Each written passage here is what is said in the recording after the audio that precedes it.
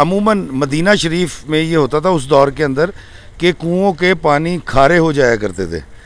तो आके दो हज़ार सरकार मदीना ने अपना लवाब दहन इस कुएँ में डाला जिसका पानी कभी खारा नहीं हुआ। लेकिन इस कुएँ की खासियत ये है कि मेरे आका जब इस दुनिया से पर्दा फरमाते हैं तो आका को जो गसल देने के लिए पानी लिया गया था, वो इस कुएँ से लिया गया था। उस दौर के अंदर कुएँ सूख जाया करते थे। लेकिन जब से आका सलात वसलाम ने अपना लाब दहन इस कुएँ में डाला, बीर गर्स में, ये आज तक खुश्क नहीं हुआ। बीर गर्स, ये कुआँ हज़रत साद बिन इबन खशीमा रज़ी तहों की मलकियत था। हज़रत साद मदीना के अंसारी थे और मालदार साहबी थे। इस मुकाम पर नबी पाक अलैहि वसल्लम ने ना सिर्फ़ आना पसंद फरमाया बल्कि मस्जिद कबा की तरफ़ जाते इस मुकाम पर क़्याम फरमाना और इस मुबारक कुएँ से पानी पीना पसंद फरमाया करते थे। तारीख हमें बताती है कि एक बार इस कुएँ का पानी खारा भी हो गया और तकरीबन सूखने के करीब था। तब नबी पाक सल्लल्लाहु अलैहि वसल्लम ने अपना लाब दहन यानी थूक मुबारक इस कुएँ में डाला, जिसकी वजह से इसका पानी ना सिर्फ़ मीठा हो गया, बल्कि पानी की सतह भी बुलंद हो गई और आज तक इसके पानी की सतह बुलंद है। बीर गर्स। जी हाँ दोस्तों, ये कुआँ है और मदीना शरीफ में ये कुआँ मौजूद है। इस कुएँ की एक बड़ी तारीख़ है। अब मैं हमेशा कोशिश ये करता हूँ कि आपके लिए कुछ ऐसी इन्फॉर्मेशन लेकर आऊँ जो आपको रूहानी तौर पर आप तवाना महसूस कर सकें या कोई ऐसा इल्म की बात हो जो आपके नॉलेज में इजाफा कर सके। ये मेरे पीछे एक कुआँ है और इस कुएँ की एक बड़ी तारीख़ है। वो लोग जो उम्र पर आते हैं और जब वो मदीना शरीफ आके दो जहाँ सरकार मदीना सल्ला वसल्लम के रोज़ा अकदस पर हाज़िरी देते हैं तो यकीन वो यहाँ की ज़्यारतें भी करते हैं। उन ज़्यारतों में से एक ज़्यारत ये भी है जो अक्सर हाजियों से रह जाती है, लेकिन इस कुएँ की खासियत ये है कि मेरे आका जब इस दुनिया से पर्दा फरमाते हैं तो आका को जो गसल देने के लिए पानी लिया गया था वो इस कुएँ से लिया गया था। आ, ये एक बहुत बड़ी बात है जो मेरे इल्म में नहीं थी लेकिन इस बार जब मैं उम्र पर आया तो मुझे यहाँ के लोगों ने बताया मेरे लिए बात एक बहुत बड़ी बात थी। और अभी आप देख रहे हैं कि लाइट बंद हैं। मैंने इस बार कोशिश की है कि तुर्की की तरह यूके की तरह मैं और पाकिस्तान की तरह मैं आपको सिर्फ़ डे में वीडियोस ना दिखाऊँ मैं आपको नाइट के अंदर भी वो विज़न दिखाऊँ जो हमारी नज़रों से ओझल होते हैं। लोग आते हैं, दिन में वीडियो बनाते हैं। मैं रात में इन तमाम जगहों पर वीडियो बना रहा हूँ और मेरी कोशिश ये भी है कि दिन के शॉट्स भी जाकर लूँ और वो डालूँ। लेकिन रात के टाइम इसका एक एक खूबसूरती और तरह की होती है। तो ये वो कुआँ है। इसकी और बहुत सारी चीज़ें हैं। अभी लाइट्स ऑफ़ हैं, क्योंकि ऑटोमेटिक लाइट्स हैं। अभी मरकरी बल्ब जब उसका टाइम पूरा होगा तो जल जाएगा। इस कुएँ में मैंने एक चीज़ और नोट की, जिस तरह हमारे हिंदुस्तान में बावलियाँ हुआ करती थी। बावली कहते हैं कि ऐसे कुएँ को जो खोदा जाता है पानी के लिए पीने के लिए, नहाने के लिए, लेकिन वहाँ पर सीढ़ियाँ होती हैं। वो इस कदर चौड़ा होता है और बड़ा होता है उसका साइज़ उसका कुतर के सीढ़ियों से नीचे उतर कर जाते हैं। मैंने आपको मुगलों के दौर की भी बावलियाँ दिखाई। एक बावली अगर आप जाएँ हिंदुस्तान और निज़ामुद्दीन अलिया सरकार की हाज़िरी दें तो उनके रोज़ा अकदस की तरफ़ जब आप जाते हैं तो वो इब्तदा में ही बाज़ार शुरू होते ही एक बावली वहाँ भी है। तो इस कुएँ की जो तामीर है, वो बावली के अंदाज में है। इसमें सीढ़ियाँ हैं और सीढ़ियाँ उतर कर नीचे पानी की तरफ़ जाया जाता है। मैं लाइट आने का इंतज़ार कर रहा हूँ, तब तक मैं गुफ्तु करता हूँ। यहाँ पर मुझे मिले हाजी अबरार साहब और वो इस कुएँ के बारे में बहुत इल्म रखते हैं। यहाँ के बारे में मैं उनसे गुजारिश करूँगा, अबरार साहब तशरीफ़ लाइए। कैसे आप? अल्लाह का शुक्र आप सुनाए ठीक हैं? सब खैरियत है? मैं बिल्कुल ठीक हूँ। मुझे बताइए कि इस वक्त मदीने में बड़ी सर्दी हो रही है। जी जी। और मैंने तो एक पंजाबी में इसको कहते ना तुसा जी जी जिसको चादर वो भी रखी हुई है। लेकिन आज कुछ कम है। आज ठीक है जी बिल्कुल बेहतरीन है इस साल की आखिरी जी। रात है आज। बेशक और कल से अंग्रेज़ी दूसरा साल शुरू हो जाएगा। और हम मौजूद हैं इस वक्त एक बीर गर्स कुआँ। ये कुआँ अल्लाह के नबी आप जब कुबा के लिए हफ़्ते के दिन इशराक के नफल पढ़ने के लिए रवाना होते थे तो आप इस कुएँ पर सहल करते, आराम फरमाते और पानी पीते। आप ने फरमाया जन्नती कुआँ है। और फिर आप ने वसीयत भी की थी सैदना अली रज़ी सैदना अबू बकर सिद्दीक सैदना उमर से, कि जब मैं इस दुनिया से पर्दा फरमा जाऊँ तो इस कुएँ के पानी से मुझे गसल दीजिएगा।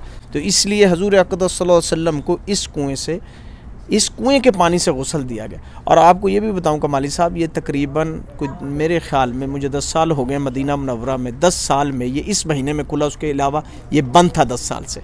उसकी वजह आपको बताता हूँ मैं बताता हूँ उसकी वजह एक ये भी है कि मुझ जैसा एक दीवाना एक फ़कीर जी जी। आका के दर अकदस पे हाजिरी के लिए आया था। मेरा आना भी जो है आका ने मुझ जैसे फ़कीर पर मुझ जैसे कमीने पर भी तो कोई कर्म करना था ना? बेशक बेशक। आज मुसलसल चौथा रोज़ है और मदीना शरीफ में बारिश हो रही है। यहाँ के लोगों का कहना है कि इससे पहले इतनी ज़्यादा बारिश और इस दर्जा सर्दी नहीं देखी। वक्त कम है और मुझे मदीना की दीगर ज़ियारात को भी कवर करना है। तो सोचा कि इस बारिश में ही निकला जाए।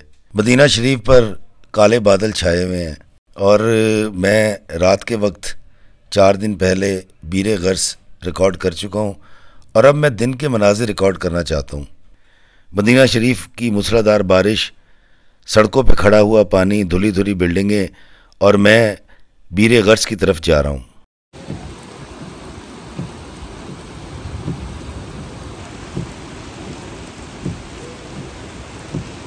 मैं बीरे गर्स पहुँच चुका हूँ, लेकिन बारिश है कि थमने का नाम नहीं लेती। आप बारिश बरसती तो देख सकते हैं, साथ में बारिश की आवाज़ की रिमझिम भी सुन सकते हैं, जो बहुत खूबसूरत तासर पैदा कर रही है। दोस्तों, मैंने आपको ये कुआ रात को दिखाया था और अब मैं दिन में आया हूँ। हज़रत साद इबन खशीमा रज़ी अल्लाह तहो मेज़बान रसूल अल्लाह की मलकियत था, ये कुआँ। और ये एक बहुत बड़ी ज़्यारत है यहाँ मदीना में। और अंदर का पोर्शन मैं आपको अभी दिखाऊँगा। देखिए, तीन दिन से बड़ी शदीद बारिश हो रही है। ये देखें, बारिश कितनी ज़्यादा है। हालाँकि असर के बाद का वक्त है, लेकिन लाइट भी कितनी कम हो चुकी है। ये मुबारक कुआँ यहाँ पर मौजूद है। इसकी कुछ तस्वीरें इन्होंने यहाँ लगाई हैं दीवारों पर। तो ये मैं आपको तस्वीरें दिखाता हूँ, ये देखें। गाड़ी में ही दिखाना पड़ेगा, उसकी रीज़न ये है कि ज़रा स्लो रखिएगा स्लो रखिएगा, ये देखें। ये कुआँ ऐसे था, ये देखिए। ये देखिए, ये ये ऐसे था। स्लो कर लें। ये इसकी बिल्डिंग इसका आर्किटेक्चर इसमें जो सीढ़ी उतरती थी, ये देखें, ये सीढ़ी वो जो अभी भी लगी है, लेकिन हम दिखा नहीं पाएँगे, उसके ऊपर जाली लगा दी गई है। और ये देखिए, ये इसकी दीवार है। ये इसकी दीवार, और मैं इस वक्त मौजूद हूँ कुएँ के बाहर, और ये कुएँ के बाहर उन्होंने जो ज़्यारत के लिए लोग आते हैं, उनकी इन्फॉर्मेशन के लिए मैं आपको फिर एक बार ये वाली क्लोज करके दिखाता हूँ, तस्वीर ये देखिए और ये देखें। ये कुआँ इस तरह से था और ये साथ में शायद उनकी रिहाइश होगी, इसके बारे में इतना नहीं जानता, लेकिन ये कुआँ यहाँ से इस एंगल से ऐसे दिखता है ये, जहाँ मौजूद है। ये एक और तस्वीर, और ये महराब है। यकीनन यहाँ पर कोई नमाज़ होती होगी, या हो सकता है आके दो जहाँ सरकार मदीना ने यहाँ पर नमाज़ अदा की हो। मेरे इल्म में ये बात नहीं है। लेकिन ये देखिए ये कुआँ है। इस कुएँ के बिल्कुल सामने फुटबॉल का ग्राउंड पानी से भरता जा रहा है और मैं कोशिश करता हूँ कि बारिश कम हुई है उतर के आपको दिन में भी ये कुआँ अंदर से दिखाऊँ। रात की फुटेज तो आप देख चुके और ये ट्रेंड आ, मैंने पैदा करने की कोशिश की है कि पहले ज़्यारात आपको रात और दिन दोनों वक्तों में दिखाऊँ कि रात को वो ज़्यारात जो हम दिन में करते हैं कैसी लगती हैं। दोस्तों बारिश तो नहीं रुकी लेकिन मैं ये इस कुएँ में की प्रीमिस में दाखिल होने लगा हूँ। और ये देखें ये कितना पानी है। यहाँ पर ये देखें। और इस प्रीमिस में आ गया हूँ। यहाँ पर स्पील भी लगाई गई है। इस कुएँ के पानी की लोग पानी भर रहे हैं। ये बेरे गर्स और ये देखिए, ये कुआँ। मैं आपको दिखाने की कोशिश करता हूँ। ये देखें। ये इसकी मौजूदा सूरत हाल है। इसके गिर दीवारें भी हैं। और मैं इसको चारों तरफ़ से आपको दिखाने की कोशिश करता हूँ। ये वो मुबारक कुआँ है जिसके पानी से आकर दो जहाँ सरकार मदीना के पर्दा फरमाने के बाद गसल दिया गया था। यह है वो कुआँ और रात के टाइम मैंने आपको दिखाया, ये दिन का मंज़र, ये ऐसे दिखता है। ये देखिए और इसके सामने पार्किंग भी एक और पीछे बिल्डिंग्स हैं। ये देखिए, ये कुआँ मुबारक कुआँ साहबी रसूल का कुआँ था जिससे आके दो जहाँ सरकार मदीना ने यहाँ पर रुककर पानी भी पिया था और इस कुएँ के पानी से अपनी ज़िंदगी में भी गसल किया था ये देखिए ये एक बड़ी अहम ज़्यारत है मदीना मुनवरा के अंदर मुझे एक पाकिस्तानी मिले हैं इनका ताल्लुक पाकिस्तान से है लेकिन ये यहाँ पर रहते हैं। क्या नाम है आपका? नजम। नजम साहब आपने जिस पुरतपाक तरीके से मुझे मुसाफा किया और मेरी रीश मुबारक को मैं मुबारक इसलिए कह रहा हूँ कि इन्होंने चूमा है और वैसे भी रीश क्योंकि आका की सुन्नत है तो आप मेरे विलाग्स के बारे में कुछ कह रहे थे। अस्सलाम वालेकुम।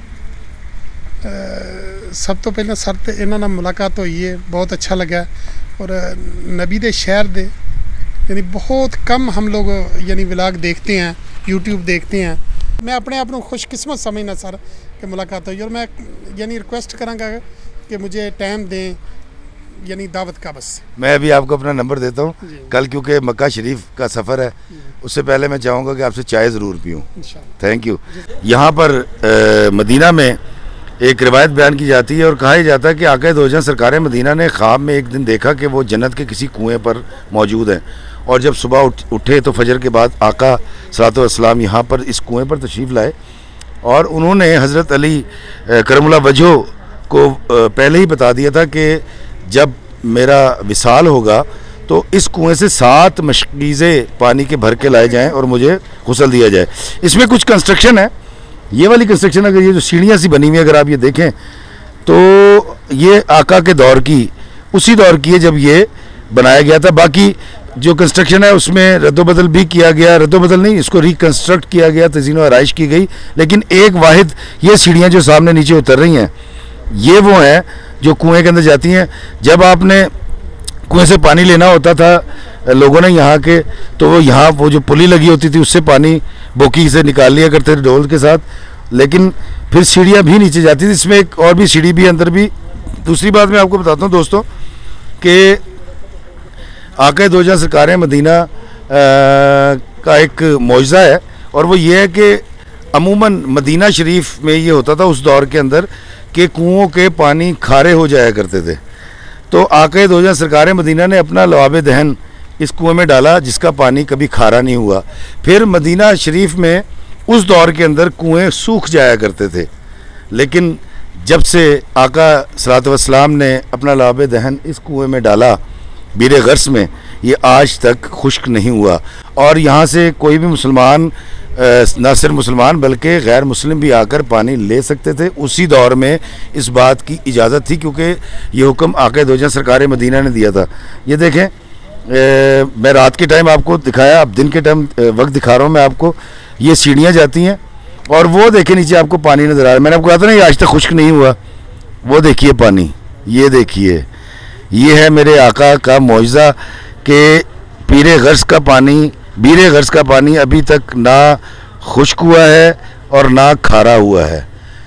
ये है मेरे नबी ये है मेरे आका ये हैं वजह वजूद कायनात।